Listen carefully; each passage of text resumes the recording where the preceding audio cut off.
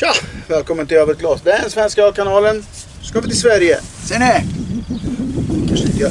Remmalöv Gårdsbryggeri, första skörden. Majbock med vår egen malt från Remmarlöv. Remmalöv. Kul! Eh, stark öl, 7%. Jag har sett eh, i grupperna, det är ju första skörden, de tar reda på allt. Jag har text om det där. Alltså jag läser. Eh, Hjärtat kom hem här, hon eh, är sugen här. Så att, eh, ja. Sugen. Jajamän, vi har tagit ett steg vidare i vårt arbete med lokala råvaror. I samarbete med lantbrukare Ola Bengtsson har vi nu, har vi, har vi nu vårt eget korn som odlas här i Remmalöv. Första skörden är nu mältat och resultatet är detta öl. Eh, Ölet är stilen Marbock som är ett kraftigare ljust lageröl. Den bryggs som en hyllning till, våra, till våren eh, och hoppet om god odlingssäsong. Ja, Eh, och det tycker jag är kul. Eh, Majbock eh, är per se kanske inte den roligaste ölstilen. Men jag har sett att den uppskattas väldigt mycket och eh, konceptet uppskattas. Det kanske förresten var den texten. Det var den texten jag hade. Ja, ja. Vi dricker rakt glas idag från Coppersmiths. Eh, jag har klippt tre gräsmattor idag. Jag har sällan varit så värd en öl. Oj vad ljus den var för att vara majbock. Jag hade förväntat mig lite mörkare. Du fick lite mycket skum. Mm. Ja, då, då tar jag med lite mindre skum då. Gert. Wow. ja. Eh, ja, väldigt ljus. Jag hade inte riktigt tippat på det. Som sagt var, tre gräsmattor. Då är det tre snabba öl, eller hur? Det har jag kanske tagit. Med råge. Maltigt men med fräschör. Hoppas inte eh, att styrkan tar över här. Det är det som är risken i såna här rackare. Att det smakar liksom eh, Norrlands dynamit eller något. Och det vill vi inte. Luktar skumt. Ja, men en korrekt brygg Majbock kan vara bra och den kan vara balanserad. Men eh, ja, bara inte styrkan tar över. Ja, jag tänker testa. Jag är ju jävligt törstig. Tjena.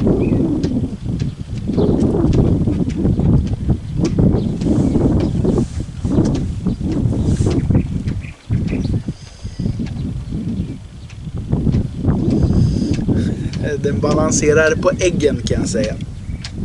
Eh,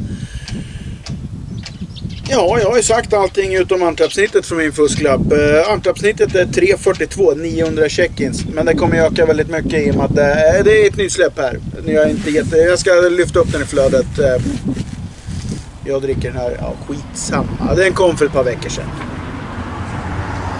En bil, gissa bilen. Jag ser inte för jag har fel briller. Är man en svart? En svart. En Volvo. Eh, en Volvo. Ja. Den här kunde ha varit lite kallare. Eh, Den har stått på mellanhyllan. Det är kallast längst ner, Längst ner, obviously. ja. Eh, Den skulle ha stått längst ner. Men, eh, och du känner att den är stark och att det är löd i den. Mm. Men det är inte så farligt. Den är faktiskt okej. Den är ganska den välbalanserad. god. Den var faktiskt välbalanserad. Och när man säger det om en lagerbock på 7%. Det är inte ofta. Jag som inte tycker om stark, stark öl liksom. Men den här, Nej men inte jag heller. god, Faktiskt. Inte jag heller, men den var otroligt välbalanserad.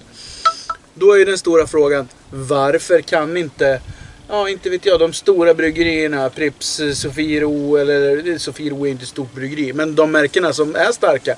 Varför kan inte de göra god öl? Det går ju att göra god stark öl. Faktiskt. Varför gör de inte det då? Mm, de kan inte. de, de är inte Remmalöv. De kan inte. De är inte Remmalöv. 3.42 var antappsnittet. Vad hamnar vi på då? Vad tycker du? Nej, Men jag har sett nog högre. Högre än 3.42? Ja. Ja, faktiskt. Mm. Jag har ju inte så mycket att välja på, på mina små Nej, men du har ju femmor. 25 där. Ja.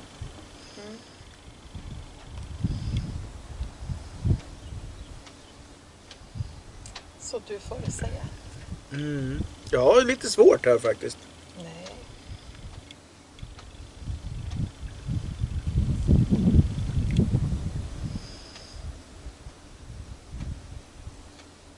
Nej, men jag kliver över också. Vad sa jag? 3.42? Jag sätter 3,5. Sätter på snittet ungefär. men var jag gör också det. På, uppe på 3,5 Ja, men Det är det jag faktiskt. kan sätta.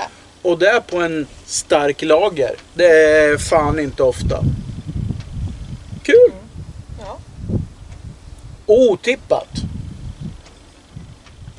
Men jag visste att den skulle vara god för det är jag som har köpt den. Självklart. You're like a boss. Yes. I am. Första skörden från Remmalöv. Vi sätter en 3,5 för en stark lager. What the fuck? Tja! Thank you.